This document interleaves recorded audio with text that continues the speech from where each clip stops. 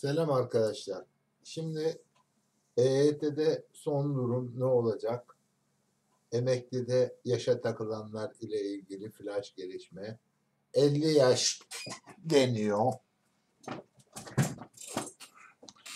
Bağkur tescil mağdurları var. Eksik prim günleri olanlar var arkadaşlar. Eksik prim günleri olanlar ne yapacak? Bağkur tescil mağdurlarının hakları geri verilecek mi? Şimdi bütün bunları Aralık ayının ilk haftasında bakanımız açıklayacaktı. Fakat halen daha beklenti var açıklamadı. İlk haftasında bir açıklama yapacak. Ocak ayının gene ilk haftasında bir açıklama daha yapacak. Şimdi arkadaşlar mesela bu yaş 50 bunun anlamı ne demek? Yani 99 öncesi SSK'sı başlayan arkadaşlarımız yaşı daha 43 iken aşağı yukarı 43-42 yaşlarında emekliliği çalışarak prim gününü doldurmuş hak kazanıyorlar. Bunların yaşı için şöyle bir söylentiler var. Hani moralinizi bozmayın gene de. Deniyor ki hayır bu yaşı az buluyoruz. Daha bu insan çok genç. 43 yaşında emekli olması olmaz. 50 yaşına kadar çalışacak. Bu ne demek? Yeniden eğitlinin içinde bir eğitli daha katmak. EYT'ye ve e, yeni bir eğitte katmak. Halbuki böyle bir şey yoktu daha önceden. Ondan sonra bu konu gündeme bomba etkisi yarattı. Bomba gibi düştü arkadaşlar. Adam çalışmış, kadın bayan çalışmış, hakkını alacak. E 40 ise, 43 ise kendini mi büyütsün yaşını yani? Şimdi arkadaşlar bir de eksik prim günleri olanlar var.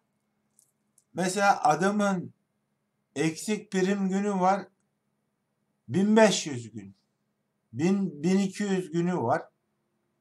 Fakat e kardeşim sen hiç mi çalışmadın? Askerliğini de ekliyor. 1500 günü zor topluyor adam.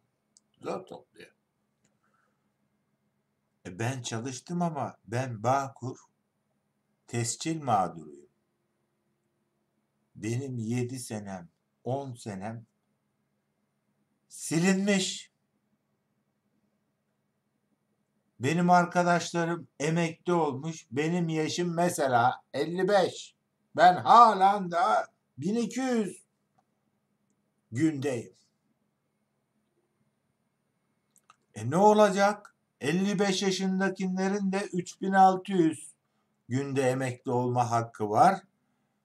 E ne olacak? Bu insan 1500 işteyse 1500 gün satın alayım. Benim Bağkur primlerimden SSK'ya katayım. 1500 1500 ne yapar? 3000.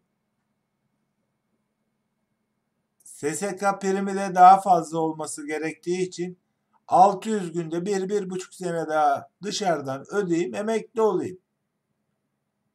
Ha, bu insanlara da bekliyorlar, bir haber bekliyorlar yani. Bunlar da bir haber bekliyor. Bağkur tescil mağdurları da mağdur olmaması gerekiyor. Yani bu, bu şekilde nereden baksan 300-500 bin kişi var. Diğer şekilde de arkadaşlar geriye dönük aslında bütün EYT'lilere prim borçlanmasına yani eksik günü hiç lafı uzatmadan eksik günlerin tamamlamaları için primlerini bitirenler emekli olsun. Kaç yaşında olursa olsun emekli olsun primlerini bitirdi. 50'yi beklemesin. 43 ise 43 veya 50 50 yaşı işlese 43 değil de 45'e yine bir göğüs gerer insan 2-3 sene daha bekleyeceksin. Ama o da iyi. Yani olsun. Olsun. Emekli olsun. Emekli olduktan sonra çalışabilsin. İş yerinden tazminatını alabilsin. Bunlara yeşil ışıklar var. Olacak bunlar.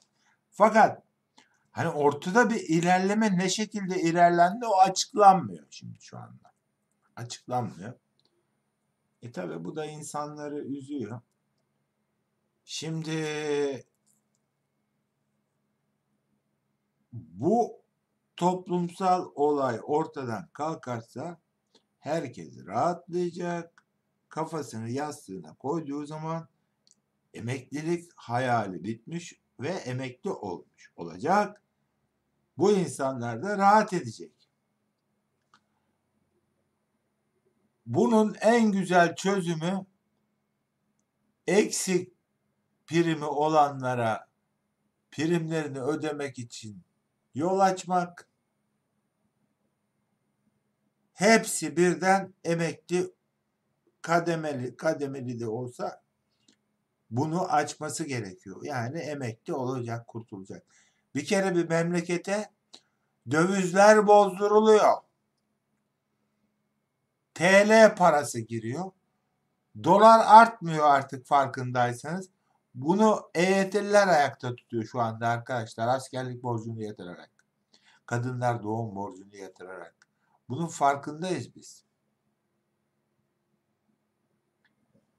Yani memlekette dolarlar bozuldukça ne oluyor? Dolar artmıyor artık. Ve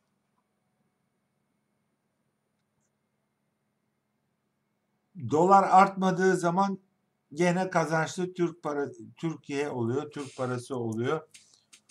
Ve bunu açıklamama sebebi de devletin şöyle şu şekilde arkadaşlar. Şimdi tabii ki yani bunu yaparsa oy alacak. Oy alır mı devlet? Yani insanlara bu hakkı verirse oy alır mı? Yani bu çok önemli bir şey. Toplumun kanayan yarası tabii ki oy alır. Bayağı bir yüksek oy toplar. Ama ayırt edip de ya, yaşı 50 o ya bir burada canı yananlar olacak. Canı yanmayanlar olacak. Umut bekleyenler olacak. Bu yüzden kimsenin canını yakmadan direkt bu yara kapatılırsa tabii ki devlet oy alacak. Bayağı yüksek bir ama küstürülenler olursa ya öyle tahmin ediyorum ki oylarda biraz düşer yani onda. E garantisi var mı? Bu adam bana oy verecek mi? Bunu bilmiyor devlet. Yani garantisi var mı bu işin? Oy verirken gösteriliyor mu oy sandıkları? Gösterilmiyor.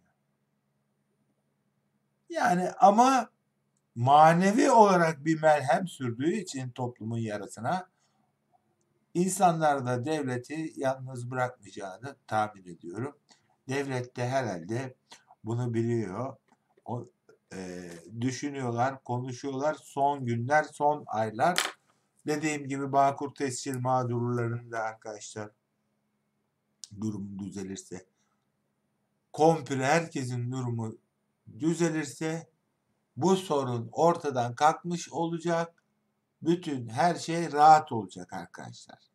Bankaya borçlansınlar eksik primleri olanlar. Ondan sonrası artık kolay.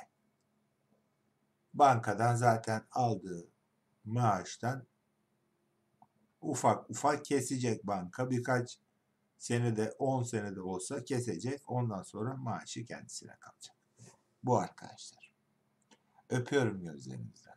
Allah'a emanet olun.